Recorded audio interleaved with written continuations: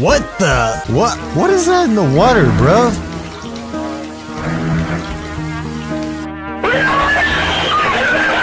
You almost died! You have to stay in the water! Wait, but why? Because! Look what happened to poor Larry, who left the water. boil, uh, rolling boil, and then you want to add your lobsters. Bob has already removed the rubber bands from these ones. You drop them in.